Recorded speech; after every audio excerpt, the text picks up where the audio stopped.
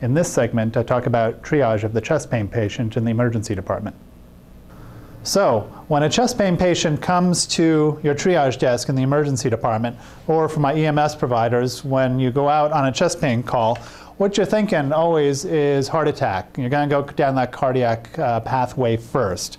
You're going to think about, about acute coronary syndrome and such.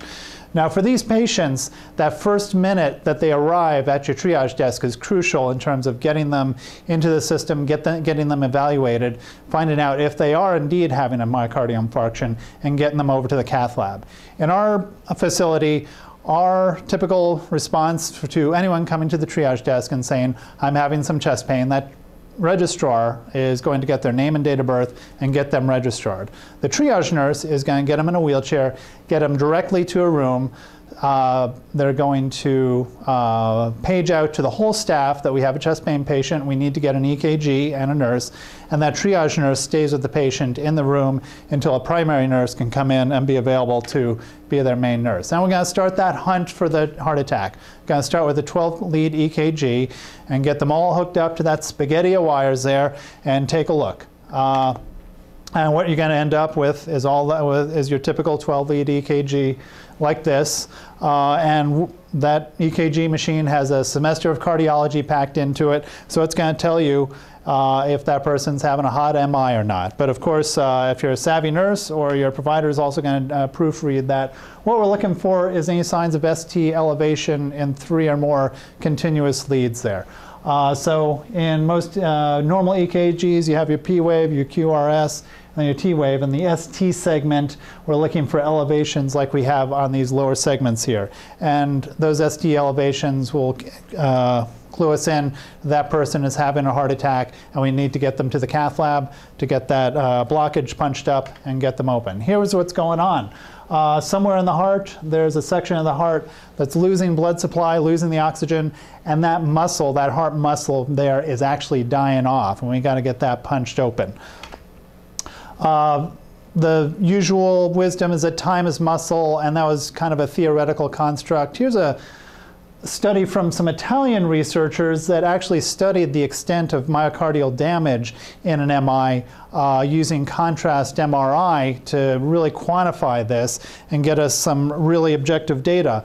And this is the path not only of uh, necrosis in the tissue over the evolution of the MI, and this is the first hour, and over three or four hours, you can see the damage evolves pretty quickly, and that's muscle that dies off and isn't retrievable. In addition, they looked at the uh, really micro uh, uh, vascular uh, damage, damage to the really small vessels that might, if we do salvage this muscle, give us a little collateral circulation once we uh, recover this patient. And that also is dying off. So we really need to get these folks treated really quickly. I teach uh, here in Nebraska. Here in Nebraska, here in my facility, I have the uh, luxury of a cath lab that's 50 yards down the hall. We can get them down there, and our times are pretty quick.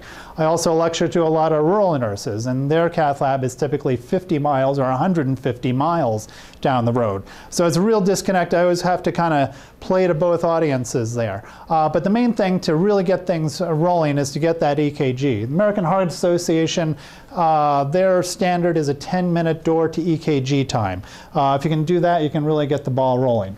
Now here's the January issue the Journal of Emergency Nursing here. Just got this uh, a few weeks ago. There's a study in here where they looked at some a couple of rural hospitals and checked their initial EKG times on newly arriving patients with coronary symptoms.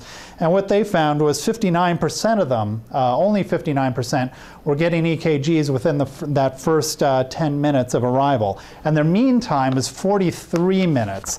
Now, when I had something published here in the journal, all of my coworkers and my managers said, Great, fantastic, what's that about? If I had told them, well, it's a study that shows that we're nowhere near reaching our benchmarks according to the American Heart Association, that would have been kind of an uncomfortable silence. Uh, but uh, fortunately, that's not us, that's some other hospital. Here we're doing very well. Uh, old school, the way it was a few years ago, only our respiratory therapists were trained to do the 12 leads. So we got a, someone with chest pain and we'd page them.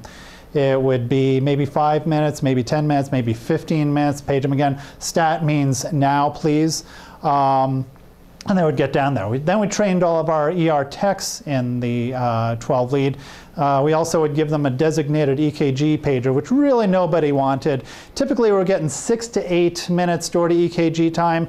Now, uh, in March of 2009, we trained all the RNs in 12 lead 2. Now our times are down to one to two minutes. Typically, our registrar is putting in their name date and birth and getting them into the system as we're getting the EKG. So sometimes our charting shows a time stamp on the EKG that's before their designated arrival time. So uh, everyone's doing the best thing they can do. Now this is kind of a quality measure internally for our ER and for nursing. Uh, also, the CMS folks, the folks who do Medicare reimbursement, look at that and it's tied to our reimbursement. And then also our annual pay increases as nurses are tied to this quality indicator. So for this reason, when a patient comes in and we page out that EKG and chest pain needed now, that patient gets the NASCAR pit route car routine. Everyone piles into that room. You have one nurse or one tech hooking them up to the EKG, one putting their information into the, uh, the 12 lead machine. IVs going, monitors, oxygen, just like that. Everyone's running around and getting it taken care of. Hi, if you liked what you heard here, I'm available to teach at your nursing conference, your EMS symposium, your fire department, your hospital, anywhere where healthcare professionals need continuing ed hours. My name is Curtis Olson. I'm an ER nurse and educator, and you can reach me at nursecurtis at windstream.net. Email me and I can send you a copy of my available lectures, any other details you need. Thanks for watching. Bye-bye.